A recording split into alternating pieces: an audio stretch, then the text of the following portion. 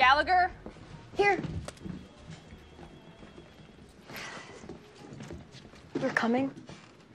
You don't want me to? Not really. Is that okay? She's only 15. It's your daughter's choice. Sister.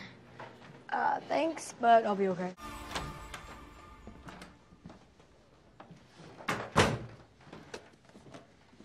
So it's positive. So we're pregnant? Would you like to discuss your options going forward? No, no, no, thank you. We're having this baby.